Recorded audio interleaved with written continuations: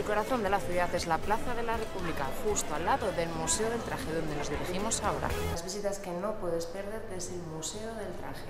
Allá donde fueras, haz lo que vieras. Aquí estamos en la pastelería de Natalio, donde hacen las mejores bombas de Berlín, que ya veis buena cuenta de ella, que tiene que venir acompañado con su vino verde. Lo que comenzó siendo un buque bacaladero, hoy acaba siendo uno de los museos de visita imprescindible de aquí, de Viana do Castelo. É sempre a.